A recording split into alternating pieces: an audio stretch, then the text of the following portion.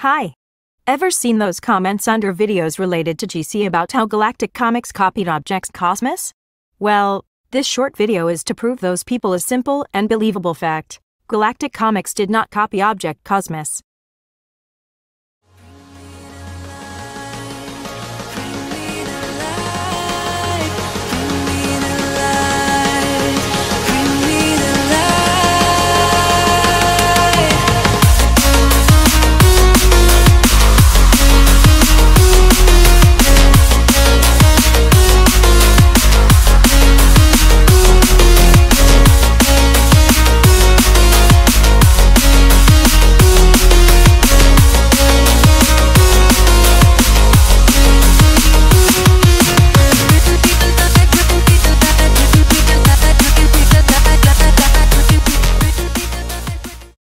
The following is a table of contents of how will the video run down.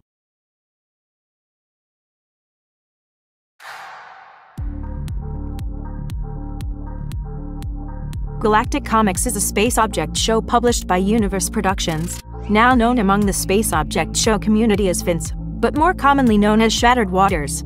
Its first episode Meet HD 106906B was first released on the 4th of May, 2017. It is commonly assumed to be the first space object show ever, and Solar System Comics or Weird and Wonderful Space to be the second. Fortunately, unfortunately, that is not the case. More on that in a possible future video. On the other hand, Object Cosmos is a space object show published by Circle Dude 236. Its first episode Pluto is a Planet Again was first released on the 4th of October, 2019. It is by far the most popular space object show in existence, and it has a large fan base surrounding it. According to its official wiki, it has also created a trend called the Object Cosmos Trend, which involves people naming their channels after characters in the show and making fan creations of them such as animations, artworks, or even entire subseries. The people in this trend are sometimes called the Object Cosmos Kids, as the trend often involves young viewers, but that is generally not the case. In conclusion, this reason is the most obvious and the most commonly used. Use your logic.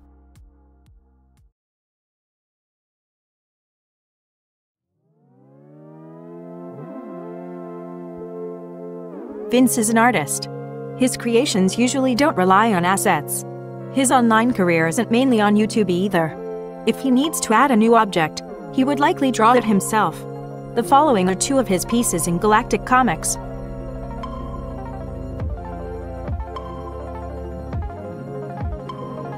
And the following are two of his more recent pieces.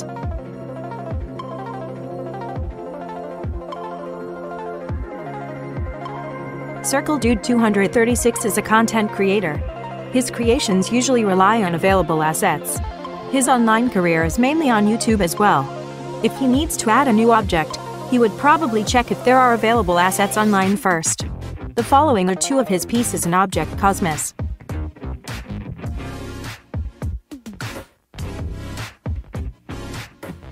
And the following are two of his more recent pieces.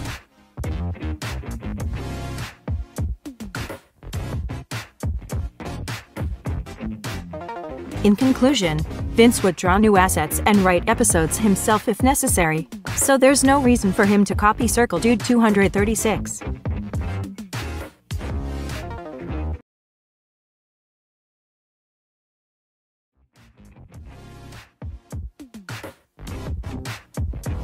Vince releases a new episode of Quality Galactic Comics once every week on average, which is very impressive, I must say. It's only until mid 2018 that his loss of motivation is apparent and the episode frequency of Galactic Comics dropped sharply to once every two months on average. Vince stopped production of Galactic Comics in the last episode, Vengeance, which was released on the 25th of October, 2019.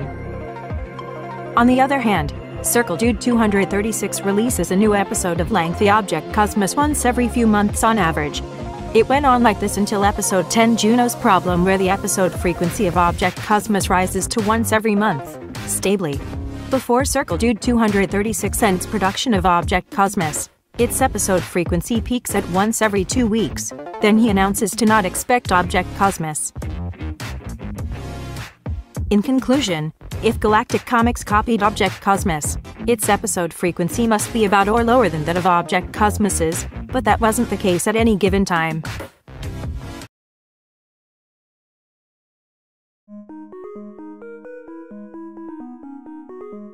This is only additional, so you can skip this part if you wish.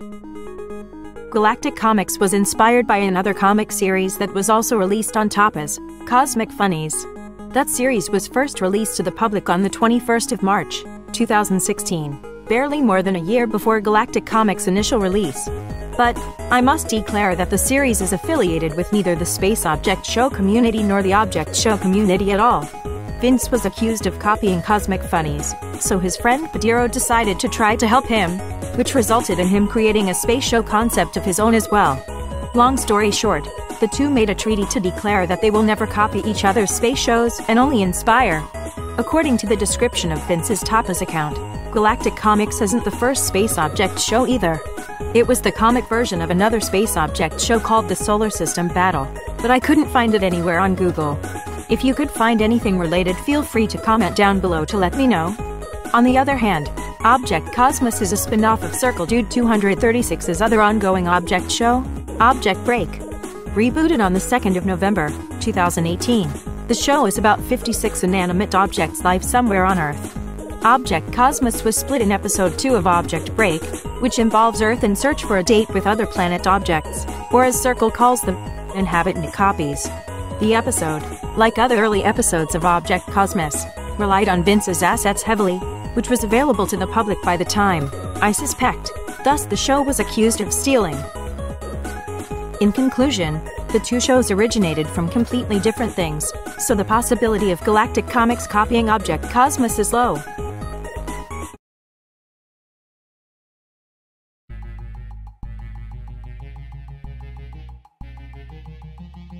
Overall summary There's a fascinating history between both Galactic Comics and Object Cosmos, so people shouldn't easily assume a show copied another, especially without any valid proof.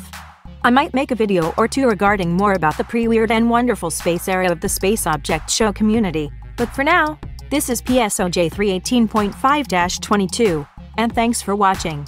Take care!